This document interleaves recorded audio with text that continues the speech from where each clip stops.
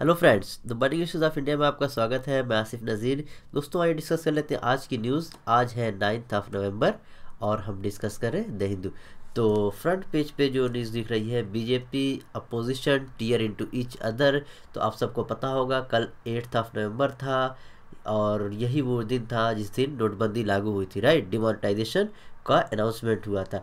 तो उस पर कल दोनों पार्टियाँ रूलिंग पार्टी और अपोजिशन ने एक दूसरे पे आरोप, प्रत्यारोप, एक ने ब्लैक डे मनाया तो एक ने एंटी ब्लैक डे मनाया।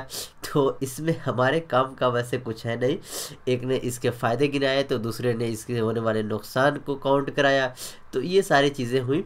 तो हमारे लिए एक चीज़ बस इसमें फ़ायदे की है कि इससे होगा क्या कि हमें रूलिंग पार्टी ने जो फ़ायदे गिनाए, वो पॉजिटिव और अपोजिशन ने जो निगेटिव गिनाए वो निगेटिव तो दोनों मिला के हमारी एक आंसर आंसर राइटिंग में ये सब चीज़ें हेल्प करेंगी राइट तो प्रोज और कॉन्स हमें मिल जाएँगे, ठीक है ना? तो आप देखें कि गवर्नमेंट ने क्या बताया, क्या फ़ायदे, और अपोजिशन इसके नुकसान क्या बता रहा है, ठीक है ना? तो बस इतना ही इसमें देखें। इसमें अलावा इसमें हमारे काम का कुछ है नहीं राइट एक ये न्यूज़ देखिए बहुत ही फ़ेमस न्यूज़ जो है school mate Ryan Ryan murder जो हुआ था आ, तो उसमें हुआ यूँ है कि एक नया खुलासा हुआ है कि किसी बच्चे ने ही एलेवेंथ क्लास का बच्चा था उसी ने स्कूल के एग्ज़ाम को पोस्टपोन कराने के चक्कर में ये मर्डर किया है राइट इससे पहले आरोप किस पे था? आरोप था बस और कंडक्टर पे ठीक है? प्यून वगैरह पे था लेकिन वो अब इसमें एक नया खुलासा हुआ है कि ये इसी एलेवेंथ क्लास के इस स्टूडेंट ने ये मर्डर किया था राइट तो यहाँ पे बस कुछ खास नहीं है। और आप सबको पता होगा, अगर आप दिल्ली में हो तो दिल्ली की एयर क्वालिटी के बारे में आप सबको मैं क्या बताऊँ? मतलब it's serious it's really emergency condition now in Delhi तो बहुत ही सीरियस केस अब हो गया है दिल्ली का। और स्पेशली चिल्ड्रेन के लिए चूँकि जो चाइल्ड होते हैं, वो बहुत वनरेबल होते हैं। इसके अलावा जो जिनको प्रॉब्लम होती है ब्रीथिंग की प्रॉब्लम है, जिनको जो अस्थमा वगैरह के पेशेंट होते हैं, उनके लिए तो बहुत क्या नाम है इमरजेंसी कंडीशन हो गई है राइट आपको पता हो अगर, देखिए कल जो था लेवल जो था पोल्यूशन का, देखिए 448 था। और हमने अभी कल डिस्कस किया था 400 जो होता है, नहीं सॉरी थ्री नॉट वन से लेके 500 तक ये हजरडस की कंडीशन में आती है और लास्ट कंडीशन है। ठीक है? मतलब ये समझ लीजिए इमरजेंसी वाली कंडीशन होती है। तो 448 ये पहुँच गया है, ठीक है? तो एयर क्वालिटी इंडेक्स ये, देखिए सेंट्रल पोल्यूशन कंट्रोल बोर्ड ने ये बताया कि ये सीवियर कंडीशन में आ गया है, ठीक है? तो हमारे लिए इंपॉर्टेंट हो जाता है सी पी सी बी तो आइए देख लेते हैं सी पी सी बी क्या है राइट तो सेंट्रल पोल्यूशन कंट्रोल बोर्ड जो है, ये एक स्टेचुटरी ऑर्गेनाइजेशन है और ये किसमें आता है? Ministry of environment and forest of climate change के अंडर में आता है, ठीक है ना? Ministry of environment forest and climate change के अंडर में आता है। 1974 में ये इस्टेब्लिश किया गया था और किसके under? Under water prevention and control of pollution act ठीक है, याद रखिएगा, बहुत इंपॉर्टेंट है ये। ये जो इस्टेब्लिश किया गया था 1974 में तो under water prevention and control of pollution act 1974 के तहत इसको इस्टेब्लिश किया गया था। हालाँकि ये ये इसके अलावा भी ये जैसे air prevention and control of pollution act 1981 ये सब चीज़ें भी इसके फ़ंक्शन है, ठीक है ना? इनके फ़ंक्शन सिर्फ़ वाटर तक की सीमित नहीं है। एयर और भी सारे पोल्यूशन ठीक है? एनवायरमेंट प्रोटेक्शन एक्ट ये सारी चीज़ें भी देखता है ये, ठीक है ना?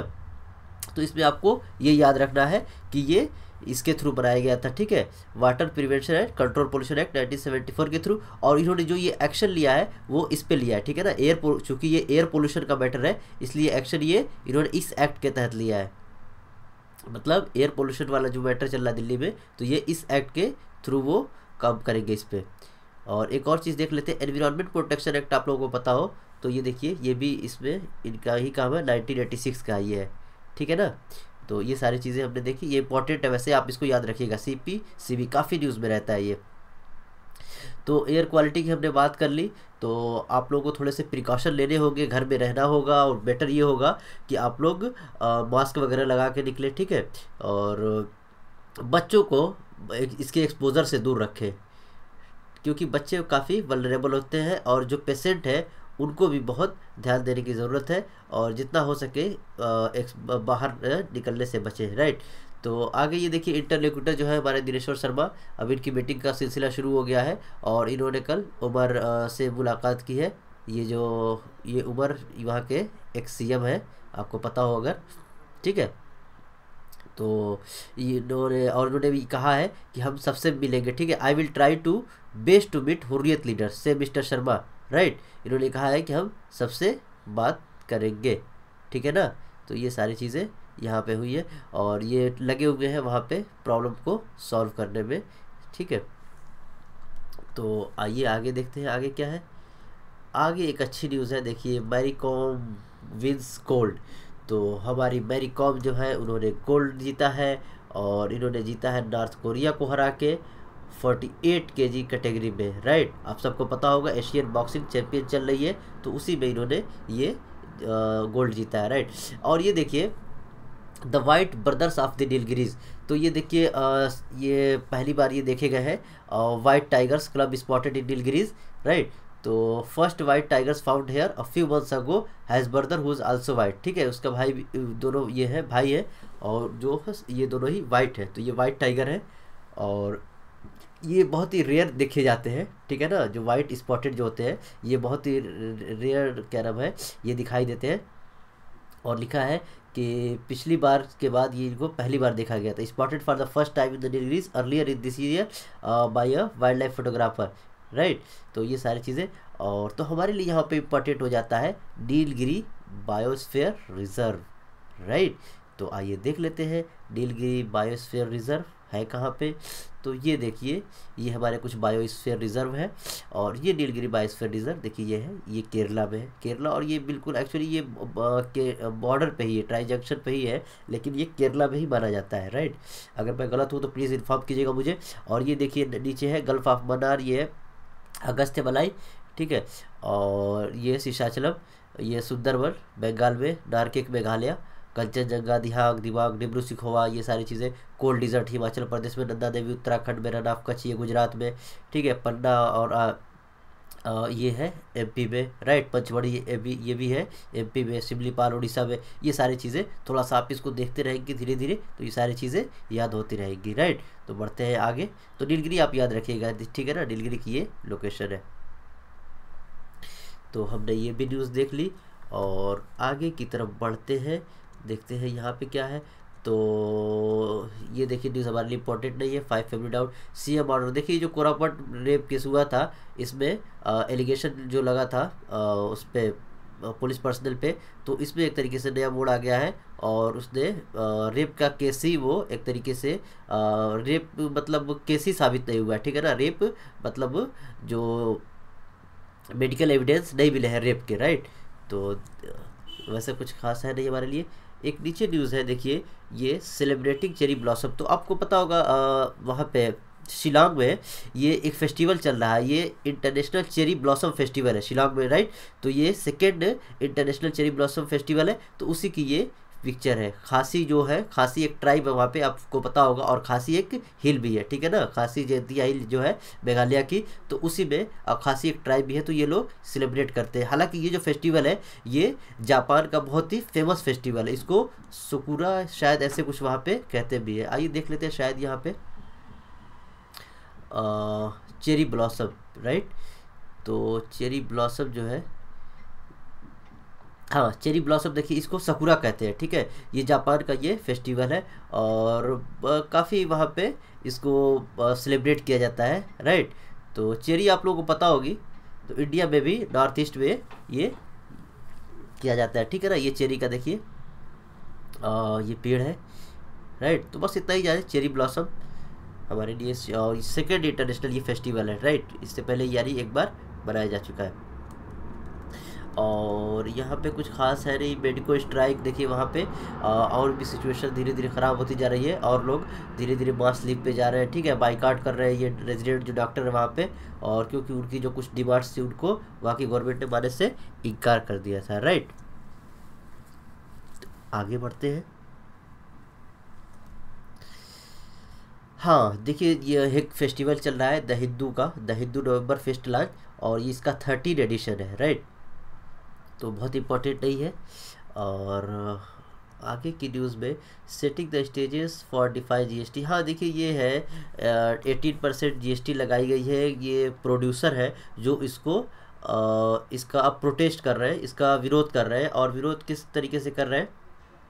देखिए इन्होंने कहा है कि एटीन परसेंट जो होता है उसको ये क्या कह रहे हैं कि जो टिकट ये लोग बांटते हैं उसमें ज़ीरो परसेंट GST यानी कि लेते रहिए, ठीक है ना? इन्होंने देखिए लिखा हुआ है कि one kind of protest against GST tax रिजाइव producer of Canada musical artist sorry Canada musical are set to defy the tax Nom by selling ticket without collecting eighteen percent तो वो एटीन परसेंट जो GST है, वो उसको collect ही नहीं कर रहे हैं राइट तो एक तरीके से ये विरोध का उनका एक नया तरीका है।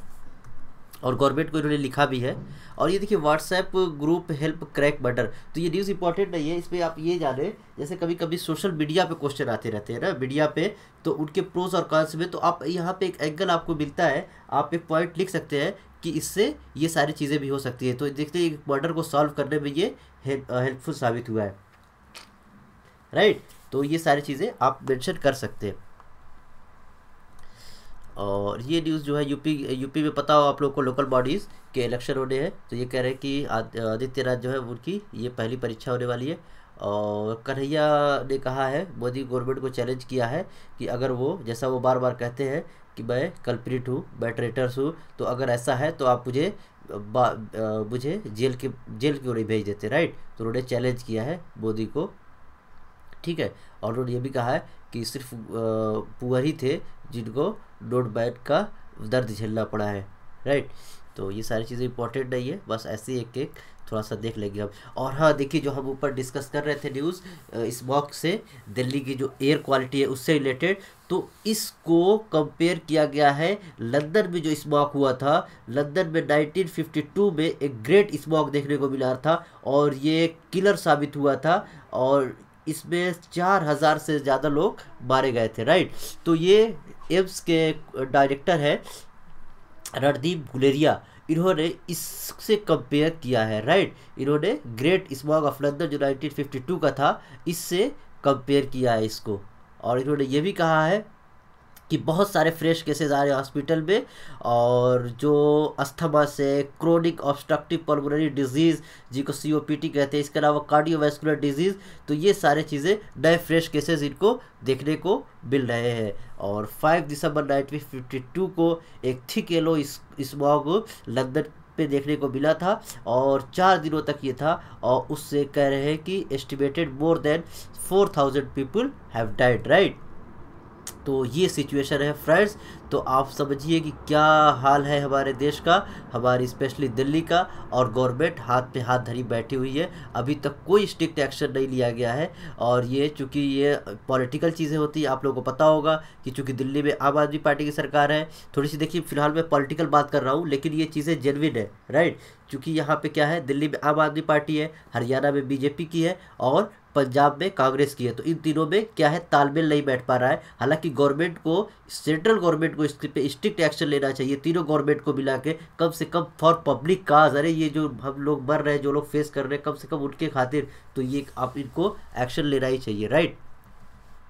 क्योंकि देखिए हजरडस मतलब बहुत हो गया ना अब तो। थ्री नॉट वन से फाइव हंड्रेड की कंडीशन जो है हजरडस मानते हैं। और ये फोर फोर्टी एट क्रॉस कर गया है तो ये समझ सकते हैं कि क्या हाल है यहाँ का।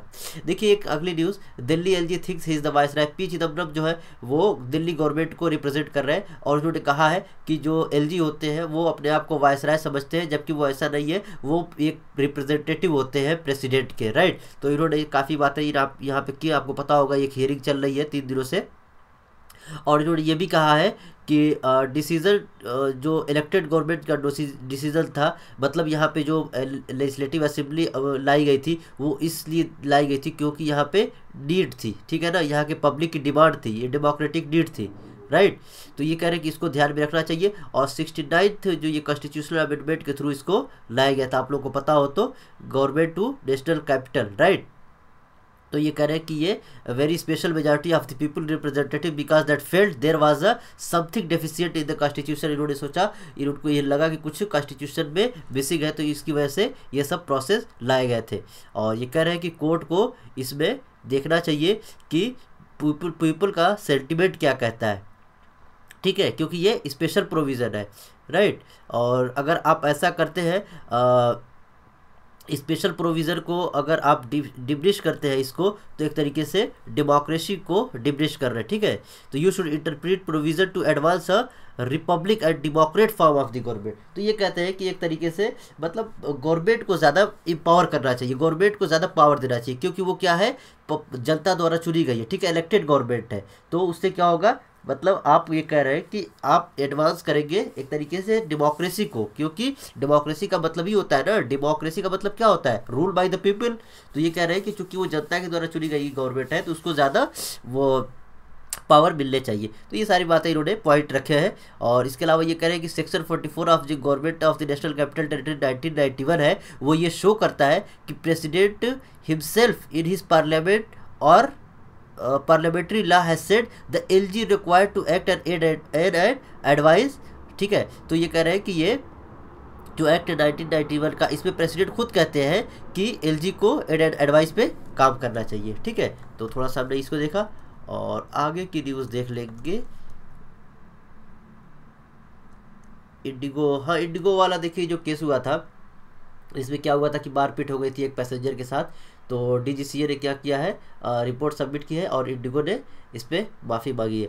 तो डीजीसीए तो हम ये देख लेते हैं डीजीसीए क्या है राइट तो आइए देख ले ए आखिर है क्या? तो ये director general of civil aviation ये क्या है? एक रेगुलेटरी बॉडी है सिविल एविएशन की, ठीक है ना? ये मिनिस्ट्री ऑफ़ सिविल एविएशन में ही आती है। राइट? और इसका काम क्या काम क्या है? ये इन्वेस्टिगेट करती है एविएशन से रिलेटेड जितने भी एक्सीडेंट या इंसिडेंट होते हैं। तो ये एक्सीडेंट नहीं था, ये इंसिडेंट था, राइट? और इसका देखिए हेडक्वार्टर कहाँ पे है? श्री अरविंदो मार्ग यहीं पे है, सफदरगंज एयरपोर्ट नई दिल्ली में ही है। तो ये सारी चीज़ें थोड़ी सी हमने इसके बारे में देखी, राइट? तो आइए बढ़ते हैं आगे। और आगे एडिटोरियल स्किपिंग एडिटोरियल और ये देखिए, कुछ आज पेज में प्रॉब्लम आ रही है। पता नहीं कैसे ये। तो लेकिन फिर भी देखते हैं। हाँ तो देखिए, एक कॉलेजेस को कम्पटी कम्पीट करने के लिए मतलब कंपटीशन बढ़ाने के लिए, उनकी रैंकिंग होने वाली है, ठीक है? तो इसमें 2771 हायर जो है एजुकेशनल इंस्टीट्यूट इसमें पार्टिसिपेट करेंगे, ठीक है? तो एक इंस्टीट्यूट है national institute ranking frame framework वो इसको कंडक्ट कराता है, ठीक है? और ये कह रहे हैं कि और इस बार मोर कॉम्प्रिहेंसिव तरीके से कराएगा, क्योंकि इसका ये थर्ड एडिशन है 2018 का, यानी कि ये 2016 से करा रहा है, ठीक है? 2016 2017 और 2018 ये तीसरा इसका एडिशन है। तो जो टॉप के कॉलेजेस हैं, उनकी ये रैंकिंग करता है। और ये कम्प्रिहेंसिव लिखा है कि ranking officious ranking of higher education institution but the universities engineering colleges और business school had brought out its first ranking of the colleges in 2017 but many reputed colleges did not take लिख रहे हैं कि बहुत सारे colleges तो लेकिन इसमें पार्टिसिपेट नहीं किया था. तो हमारे लिए इम्पोर्टेंट हो जाता है एन आई आर एफ़ तो एन आई आर एफ़ के बारे में देख लेते हैं, ये है क्या? तो एन आई आर एफ़ की बात करें तो ये है ये है national institute institutional ranking framework ठीक है? तो ये क्या है? एक मेथोडोलॉजी है और ये एम ने अडॉप्ट की है, ठीक है? इससे क्या होता है कि जो हमारे इंस्टीट्यूशन है, हमारे इंस्टीट्यूशन है जो हायर एजुकेशन से रिलेटेड उनकी रैंकिंग करता है। और ये फ्रेमवर्क कब ये लॉन्च किया गया था? ये 2015 में, ठीक है? 19 सितंबर 2015 को इसको एडॉप्ट किया गया था राइट तो ये क्या करता है? रैंकिंग करता है हमारे हायर एजुकेशन की। तो और ये देखिए, एक मनरेगा से रिलेटेड एक सैड न्यूज़ है बैड न्यूज़ है, और ये न्यूज़ ये है कि अभी तक 3,653 करोड़ ये जो है पेमेंट अभी तक इनको रिलीज़ नहीं किया जा सका है। ठीक है इनका डिसबर्समेंट अभी तक नहीं किया जा सका और क्यों नहीं हुआ है? क्योंकि सेंटर और स्टेट के बीच में डिस्प्यूट है। ठीक है तो हमेशा होता है डिस्प्यूट का क्या नाम है खामियाजा कौन भुगतता है? हमेशा आम जनता भुगतती है। ठीक है तो यहाँ पे देखिए लिख रहे हैं। कि इतना सारा पेमेंट जो है अभी भी पेंडिंग है, इनको अभी किया जाना है। और as per the latest information of the rural development ministry website of this nine two three crore is due towards wages ठीक है ना? तो नौ सौ तेईस करोड़ जो है, वो वेजेस का इसमें है। ठीक है? तो ये अभी भी ड्यू है। और the negative balance was the highest for Rajasthan और राजस्थान का ये सबसे ज़्यादा है two forty five two forty point five six है। ठीक है? और ये कह रहे हैं कि टेन स्टेट्स जो है, ये निगेटिव बैलेंस दिखा रहे हैं। निगेटिव बैलेंस का मतलब यही है कि काम किया जा चुका है, ठीक है? More work was done under the rural employment guarantee scheme that was then was paid ठीक है ना? मतलब काम ज़्यादा हो गया है, जितना पे किया गया उससे ज़्यादा, ठीक है? तो ये दस दस स्टेट है जिनमें निगेटिव बैलेंस शो कर रहा है और राजस्थान इसमें टॉप पे है राइट और ये देखिए crisis of identity for sibling ये हमारे लिए इम्पोर्टेंट है नहीं। तो थोड़ा सा इस पेज में दिक्कत है। आ, हाँ इधर वाली तो हो गई न्यूज़ राइट और थोड़ा सा इधर की देख लेते हैं इधर क्या है। हाँ फाइन हो गया। तो आइए फिर देखते हैं नीचे है क्या। हाँ देखिए सुप्रीम कोर्ट ने क्या किया है आप लोगों को पता होगा। Supreme court recalls order to take up delay. Memorandum of procedure की बात हुई थी, आप लोगों को पता हो तो। और ये भी आप लोगों को पता होना चाहिए कि एन जे ए सी जो था, उसको सुप्रीम कोर्ट ने स्ट्राइक डाउन कर दिया था, जो गवर्नमेंट का प्लान था। तो उस पर उसके बाद इन्होंने कहा था कि हम अपने तय क्या करेंगे? एमओपी एक लेके आएँगे, ठीक है?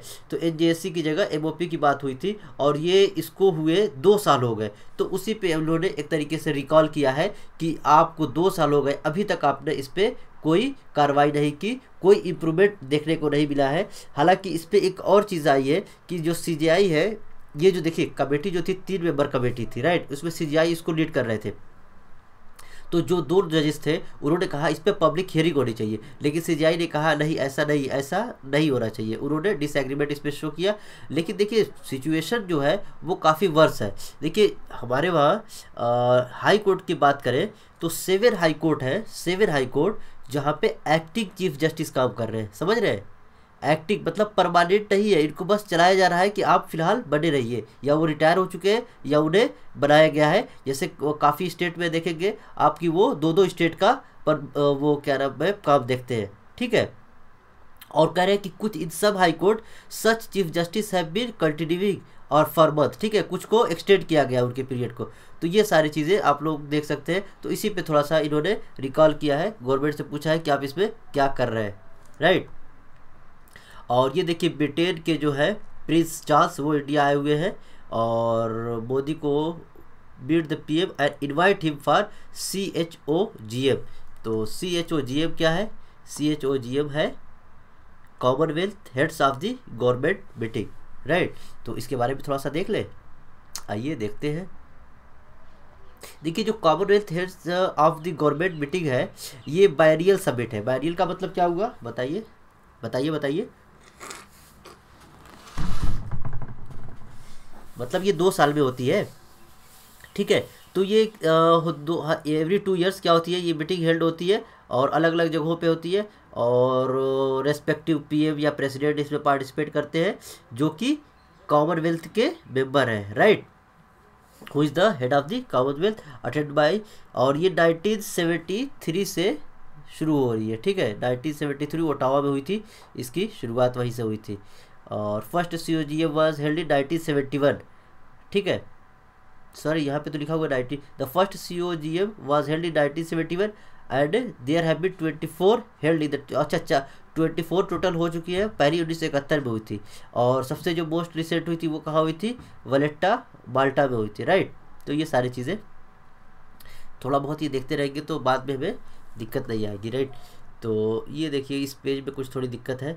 और हाँ देखिए पाकिस्तान ने हेल्प करने की बात की है क्योंकि आपको पता हो कि आ, इस बार गुरु नानक जी का बाबा गुरु नानक का फाइव फिफ्टी बर्थ एनिवर्सरी बनाई जा रही है। बनाई जानी है 2019 में। ठीक है? तो उसके थ्रू क्या किया है इन्होंने? पाकिस्तान ने कहा है कि हम भी जो हो सकेगा हम आपकी हेल्प करेंगे, ठीक है? तो पाकिस्तान डिक्लेरेशन कब days after Islamabad allows Islamabad ने छब्बीस सौ इंडियन पिलग्रिमेज को अलाउ किया है। वहाँ पे विज़िट करने के लिए कहाँ पे? ननकाना साहिब, जहाँ पे वो पैदा हुए थे, ठीक है? एनुअल फेस्टिवल वहाँ पे मनाया जा रहा है। Birth anniversary of Guru Nanak बनाई जा रही है तलवंडी साहिब, पाकिस्तान में राइट तो ये सारी चीज़ें। इसके अलावा देखिए India urges to join belt road initiative China ने कहा है कि हम इन्वाइट करते हैं इंडिया को बेल्ट रोड इनिशिएटिव ज्वाइन करने के लिए, राइट? तो इन्होंने कहा है कि सी पी ई सी जो है उस पर अपनी ऑब्जेक्शन को ये ख़त्म करना चाहिए। ठीक है? China on Wednesday counselled India to shed its objection to the China C P C यानी China economy Pakistan corridor and take advantage ठीक है ऑफ़ बीआरआई तो ये कह रहे हैं कि इंडिया को तो इसका एडवांटेज लेना चाहिए और अपना स्टैंड चेंज करना चाहिए। ठीक है? तो हमारे लिए इंपॉर्टेंट क्या हो जाता है? थोड़ा सा देख लेते हैं सीपीईसी के बारे में। तो सीपीईसी की बात करें, देखिए चाइना पाकिस्तान इकोनॉमिक कॉरिडोर, ये एक कलेक्शन ऑफ़ इंफ्रास्ट्रक्चर प्रोजेक्ट है और ये अंडर कंस्ट्रक्शन है। Throughout four sixty billion का इसमें इन्वेस्ट किया है चाइना ने, ठीक है? और इसका मकसद ये है कि इंफ्रास्ट्रक्चर को मॉडर्नाइज किया जाना है और इसकी थोड़ी सी हम मैप पे आपको दिखाने की कोशिश करते हैं सीपीईसी को। ये देखिए ये देखिए, चाइना का ये जिदियांग रीजन और ये देखिए, पाकिस्तान से ये पास होगा और ग्वादर पोर्ट को ये जोड़ेगा, ठीक है? तो इंडिया का कंसर्न ये है क्योंकि ये जो गुजरता है, ये जो, ये देखिए, ये वाला कश्मीर वाला हिस्सा है तो ये डिस्प्यूटेड डिजन है राइट तो ये डिस्प्यूटेड डिजन से ये होके जाता है, इसीलिए इंडिया इस पर कंसर्न रेस कर रहा है और इसको ज्वाइन करने से बच रहा है, क्योंकि इसका मतलब ये हुआ कि आपको अगर इंडिया ज्वाइन कर लेता है तो इसका मतलब ये इंडिया इनडायरेक्टली एक्सेप्ट कर रहा है कि ये रीजन पाकिस्तान का है राइट तो यही थोड़ा सा इंडिया के कंसर्न है, और ये बहुत स्ट्रेटजिक लोकेशन है, ग्वादर पोर्ट आप अगर को पता हो तो। ठीक है और ये अडवाणी जी का बर्थडे मनाया जा रहा है नब्बे साल के हो गए। ठीक है तो ये सारी चीज़ें और आगे देखिए सेवेंटी सेवन जो है केसेस जो है नोट बैलेंस से रिलेटेड सीबीआई ने फ़ाइल किए ठीक है। और इसमें बस इतना ही जाने फ्रॉड से केसेस हैं जो जिन्होंने नोट एक्सचेंज किए थे और कुछ आ, जैसे दूसरे के अकाउंट में पैसे लोग डाले थे तो इस टाइप से रिलेटेड और कुछ एक्सेस बनी वगैरह पाई गई थी तो सेवेंटी सेवन केसेज है और इसमें जो थ्री नाइन्टी सिक्स करोड़ है, वो इलीगल तरीके से जो रिकवर्ड किए गए राइट जो पैसे, जैसे आप लोगों को पता होगा, उधर काफ़ी रेट पड़ रही थी और लोगों के पास पैसे बराबर हो रहे थे तो उस टाइप से थ्री नाइन्टी सिक्स करोड़ आएगी और देखिए, मैंने जैसा कहा ऊपर हमने बात की है कि इसके फ़ायदे तो फ़ायदे नोटबंदी के अरुण जेटली जी गिनवा रहे हैं काउंट करवा रहे हैं, और ये कह रहे हैं कि terrorist have no cash to operate नोटबंदी के बाद टेररिस्ट के पास पैसे अब नहीं है, और इसके अलावा स्टोर वगैरह पेंटिंग में भी ये जो जम्मू कश्मीर में हो रही थी, उसमें भी काफ़ी कमी आई है। ठीक है ना? थ्रोविंग स्टोर्स इसके अलावा इंसर्जेंसी और नक्सलाइट इन सब चीज़ों में कह रहे काफ़ी कमी आई है। तो डिमोनेटाइजेशन के ये फ़ायदे में आप चीज़ें लिख सकते हैं। राइट और डेमोक्रेटिक हाँ देखिए वहाँ पे इलेक्शन हुए हैं यूएस में। तो वहाँ पे डेमोक्रेटिक्स ने काफ़ी अच्छी वापसी की है और तीन स्टेट में वहाँ पे बहुत अच्छी जीत हासिल की है, ठीक है ना? वर्जीनिया, न्यू जर्सी और न्यूयॉर्क में। तो एक तरीके से बहुत बड़ा सेटबैक है डोनाल्ड ट्रंप के लिए। और एक और अच्छी खबर ये है कि न्यू जर्सी के जो मेयर होंगे, वो सिख होंगे राइट और ये फ़र्स्ट सिख होंगे जो वहाँ के मेयर होंगे। और ये जो न्यूज़ है फ्रॉम लेनिन टू पुतिन ये रशिया की जो हिस्ट्री है, उससे रिलेटेड है। वर्ल्ड हिस्ट्री में ये बहुत काम आ सकती है आपको। आंसर भी लिखने में भी बहुत काम आए हेल्पफुल साबित होगी। इसको आप ज़रूर पढ़िएगा राइट और देखिए, एक न्यूज़ है, ये है प्रीति पटेल। प्रीति पटेल है मिनिस्टर है यूके में राइट तो लंदन में सॉरी इंग्लैंड में। तो इन्होंने क्या किया है? थोड़ी सी ये कंट्रोवर्सियों में आ गई है। हुआ यूँ है कि इन्होंने विज़िट की थी इसराइल की और वहाँ पे इस इन्होंने हॉलीडे विज़िट थी इनकी, इसको इन्होंने डिस, डिस्क्लोज नहीं किया था, राइट? लेकिन अब बातें सामने आ गई हैं तो अब ये वहाँ पे काफ़ी इनकी क्रिटिसिज्म हो रहा है। और इन्होंने mister, miss Patel had visited the Golan Heights during the visit. Golan Heights को भी इन्होंने विज़िट किया, जबकि ये कह रहे हैं कि this would go against the long standing British foreign policy of treating the region as illegally occupied Syrian land तो ये कह रहे हैं कि ये जो है हमारा जो है वर्जन ये है वहाँ की जो फॉरेन पॉलिसी है उसका मानना ये है हमारे फॉरेन पॉलिसी यही कहती है कि ये सीरिया द्वारा आ, ये नहीं ये इलीगली ऑक्यूपाइड सीरियन लैंड है। ठीक है ना? ये सीरिया की लैंड है और ये इसराइल की टेरिटरी नहीं है। ठीक है? तो इनका एक तरीके से मतलब ये चूँकि मिनिस्टर है तो इनको ये सब चीज़ें थोड़ा सा बचना चाहिए, क्योंकि ऑफिशियल जो वर्जन होता है, आप उसको डिनाई नहीं कर सकते ना। और इन्होंने बेंजामिन नितन्याहू से भी मुलाकात की है फैमिली हॉलीडे पे। तो इन सब बातों का उन्होंने बाद में खुलासा किया अपोलोजाइज भी किया। तो हमारे लिए इंपॉर्टेंट हो जाता है गोलान हाइट्स गोलान हाइट्स के बारे में क्वेश्चन यूपीएससी में पूछा जा चुका है, अगर आपको पता हो तो। तो हम देख लेते हैं लोकेशन गोलान हाइट की। ये आपका है गोलान हाइट, ये है सीरिया, ये है इसराइल तो यही कह रहे हैं कि ये इसराइल का पार्ट नहीं है, ये सीरिया का पार्ट है जो कि इसराइल ने कब्ज़ा किया हुआ है। ठीक है, ये बगल की है, ये लेबनान है, ठीक है। और ये आपको पता हो, ये मैप जो दिख रहा है, देखिए ये जॉर्डन, ये इजिप्ट ये सीरिया, ये लेबनान, ये कंट्री आप याद रखें। इस कंट्री पे शायद इस बार भी क्वेश्चन आया था यूपीएससी में और ये मेडिटेरेनियन सी है राइट तो ये सारी चीज़ें थोड़ा सा आप याद रखें और ये वेस्टर्न बैंक है, ये गाज़ा स्ट्रिप है, ठीक है? गाज़ा पट्टी। सॉरी ये नहीं है, यहाँ पे है। यहाँ पे ये गाज़ा स्ट्रिप है और यहाँ पे वेस्टर्न बैंक है राइट ये सारी चीज़ें आप थोड़ा सा मैप में देख सकते हैं। तो आगे बढ़ते हैं। Beijing should clarify its intention ये कहा है किसने? ये कहा है फिलीपींस ने। फिलीपींस ने कहा है कि बीजिंग को अपनी इंटेंशन को क्लैरिफाई करना चाहिए। कहाँ पे? ये कह रहे हैं साउथ चाइना सी में। साउथ चाइना सी में आप लोग को पता होगा क्योंकि ये इसलिए कह रहे हैं क्योंकि देखिए एपेक की मीटिंग हो रही है एशिया पैसिफिक कोऑपरेशन मीटिंग हो रही है वियतनाम में। तो उसी से उसी से पहले ये बात कर रहे हैं कि चाइना को अपना ये आ, नहीं सॉरी एपेक में ही इन्होंने बात कही है कि चाइना को अपना स्टैंड क्लियरिफाई करना चाहिए। तो हमारे लिए इम्पोर्टेंट क्या हो जाता है? थोड़ा सा देख लेते हैं साउथ चाइना सी देखिए, ये है साउथ चाइना सी ये है चाइना और मीटिंग जो हो रही है, देखिए वियतनाम में हो रही है यहाँ पे और ये जो कंसर्न रेस किया है, ये फिलीपींस क्योंकि फिलीपींस का ही ये डिस्प्यूट है चाइना के साथ, ठीक है ना? इसमें फिलीपींस और ये ताइवान वगैरह भी इंक्लूड है साउथ चाइना सी के। इस डिस्प्यूट में। और हमारे लिए इंपॉर्टेंट देखिए, कई लोकेशन यहाँ पे, इसको आप याद रखें, ये स्प्राटली आइलैंड और ये है पार्सल आइलैंड बहुत इंपॉर्टेंट आइलैंड है ये। और ये, इसको भी आप याद रख सकते हैं प्रटाज आइलैंड ठीक है? तो ये सारी चीज़ें आप याद रखें। कंट्रीज़ नाम का नाम याद रखें कौन कौन सी कंट्रीज़ इसमें है देखिए ताइवान फिलीपींस वगैरह, इधर आती है ये वियतनाम तो इन सब के कंसर्न यहाँ पे जुड़े हुए हैं, ठीक है ना? इन सब के इंटरेस्ट यहाँ पे है। तो इन्होंने यही कहा है कि इसको, इस स्थिति को चाइना को क्लैरिफाई करना चाहिए। तो अपेक का भी हमने ज़िक्र किया। तो आइए अपेक देख लेते हैं अपेक है क्या? तो एशियन पैसिफिक इकोनॉमिक कोऑपरेशन जो है, ये क्या है? ये free trade throughout the Asia Pacific region में प्रमोट करने के लिए बनाया गया था उन्नीस में नाइनटीन में, ठीक है? और एशिया पैसिफिक इकोनॉमीज़ और इसके अलावा भी बहुत सारे, इसमें देखिए, ये member of G eight would come to eight member जो है जी एट के वो आगे आए थे। इसको आ, एक मिनट हाँ। तो ये है हमारा। देखिए इसमें अभी 21 मेंबर है राइट और 1989 में इसको इस्टेब्लिश किया गया था ये सारी चीज़ें।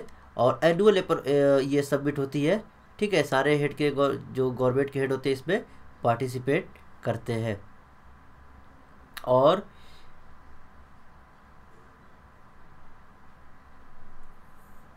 हाँ ठीक है ना? ट्रेड से रिलेटेड मेनली यहाँ पर डिस्कशन होते हैं ठीक है? और 21 है पैसिफिक रेप मेंबर जो इकोनॉमी है उनका ये आ, आ, ये संगठन है ऑर्गेनाइजेशन है राइट तो इसके बारे में थोड़ा सा हमने देखा और बढ़ते हैं आगे। तो आगे देखते हैं हमारे लिए। ओ माय गॉड, ये तो पेज। ठीक है। और इस पर हमारे लिए कुछ है नहीं। एक न्यूज़ है, तेलंगाना देखिए स्टेट वाइज जो ईज़ ऑफ़ डूइंग बिज़नेस की रैंकिंग आई है, उसमें तेलंगाना ने टॉप किया है और तेलंगाना के बाद जो अगले हैं वो है सेकेंड पे हरियाणा, फिर है उड़ीसा छत्तीसगढ़, ये सारी लिस्ट है, ठीक है। और ये देखिए इंश्योरेंस को भी आधार से लिंक करने की डिमांड कर रहे हैं। कौन कर रहा है ये आईआरडीए जो insurance regulatory and development authority है, वो ये डिमांड कर रहा है। इसके अलावा श्रीलंका से रिलेटेड हमने न्यूज़ डिस्कस की थी, वहाँ के लोगों ने, वहाँ की गवर्नमेंट ने इल्ज़ाम लगाया था कि वहाँ पे आयल की शार्टेज हो रही है और कंटेमिनेटेड आयल भी भेजा जा रहा है तो उस पर इंडिया ने एक्शन लिया है और इमरजेंसी सप्लाई की है उड़ीसा से, ठीक है? After P M assure Sirisena ठीक है? ये सारी चीज़ें हुई है उनकी इमरजेंसी वहाँ पे मदद की गई है। और मेरी वाली न्यूज़ हमने डिस्कस कर ली right so that's it for today friends. Thank you